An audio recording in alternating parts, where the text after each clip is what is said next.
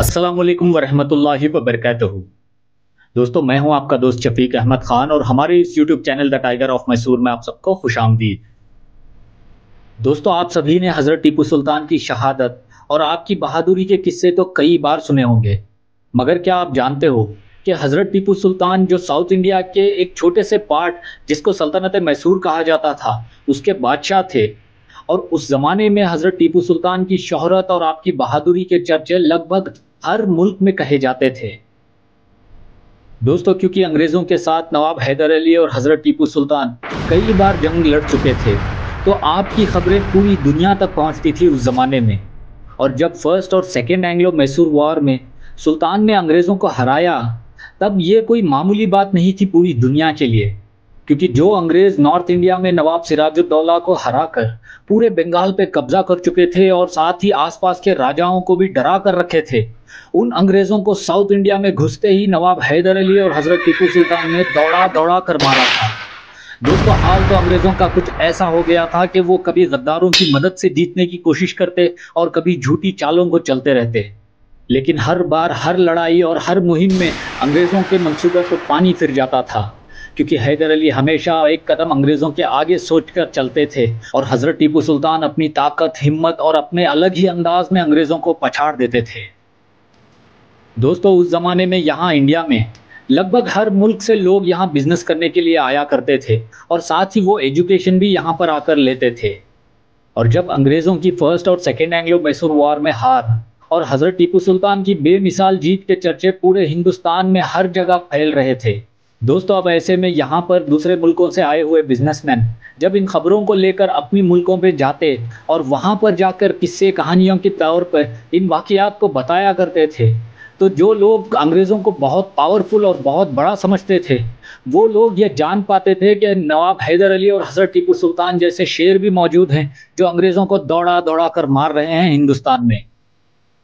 और दोस्तों, जब बैटल ऑफ़ पोलीलूर हुई, तब हर तरफ़ इस जंग की खबर ऐसे आग की तरह फैली कि सब लोगों की ज़ुबान पे बस यही था कि अंग्रेज़ों की अब खैर नहीं। दोस्तों, कुछ फोल्कलोर स्टोरीज में ये भी कहा जाता है कि उस ज़माने में बैटल ऑफ़ पोलीलूर के नाटक किए जाते थे गाँव वगैरह में। और उन नाटकों में और उन कठपुतली के खेलों के अंदर ये दिखाया जाता कि किस तरह आग की तलवारों ने अंग्रेज़ों के परकच्छे उड़ा दिए थे।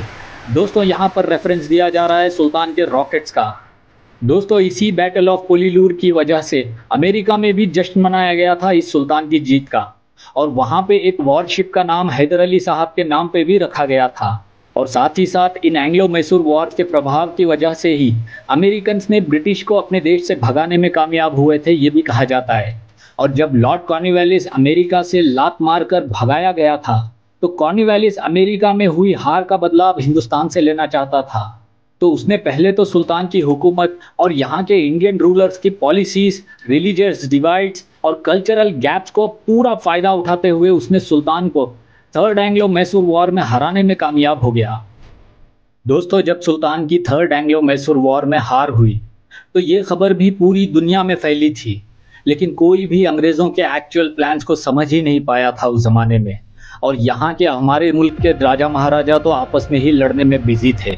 और सब यही समझ रहे थे कि ये तो सिर्फ़ टीपू सुल्तान और ईस्ट इंडिया कंपनी के बीच में हुई लड़ाई है।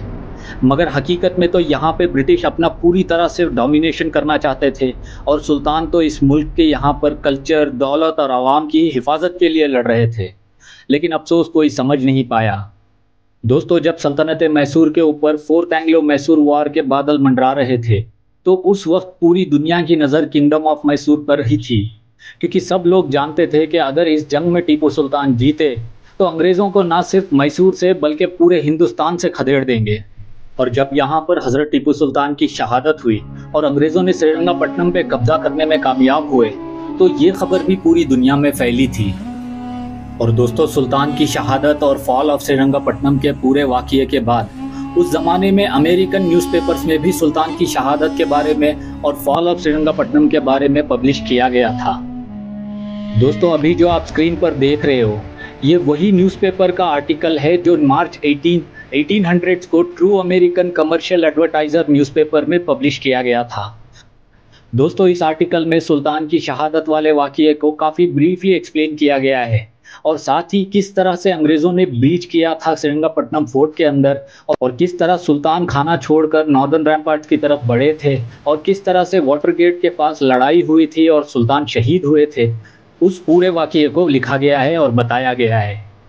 दोस्तों, ज़रा सोच कर देखो कि सुल्तान की शहादत की ये खबर कितनी बड़ी थी उस ज़माने के लोगों के लिए कि यहाँ इंडिया से हज़ारों मील दूर अमेरिका में भी इस न्यूज़ को छापा गया था। और साथ ही ये न्यूज़पेपर और इसका ये आर्टिकल इस बात की गवाही देता है कि हज़रत टीपू सुल्तान उस ज़माने में पूरी दुनिया में जाने जाने वाली शख्सियत थे। दोस्तों, मैं इस आर्टिकल की पिक्चर्स को एंड में इस वीडियो के बाद में दिखा दूँगा। आप चाहो तो पॉज करके पढ़ सकते हो। और साथ ही साथ, अगर आपको इस न्यूज़पेपर के आर्टिकल के पिक्चर्स चाहिए तो आप मुझे इंस्टाग्राम पे मैसेज करिए। मैंने अपनी इंस्टाग्राम आईडी की लिंक नीचे डिस्क्रिप्शन में दे दी है। और दोस्तों, आज की वीडियो में बस इतना ही। अब मैं मिलूँगा आपसे अगली वीडियो में। तब तक के लिए इजाज़त दीजिए और अपना बहुत सारा ख्याल रखिए। अल्लाह हाफिज़।